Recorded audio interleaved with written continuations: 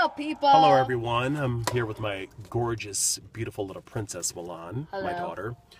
So, Milan, since you and I both had a very successful week, I got 100 on my spelling test. we're gonna have to reward ourselves. Really? Tell me what we're doing. Tell me what we're doing. So, we're gonna do something really special.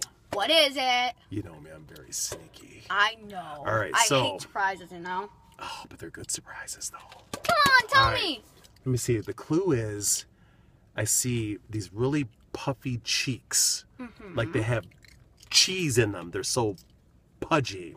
That's Uh-huh. your little hint. Um, does it have a tail? It has a tail. Oh, oh, I know, I know. I'm gonna guess Chuck E. Cheese. Oh my god! How did you guess? I don't know. That was so difficult. There's no way you could have guessed that. Mm, Let's go have some fun. yeah.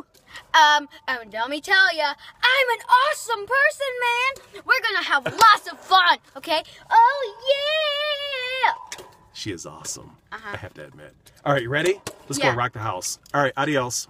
Bye. Bye.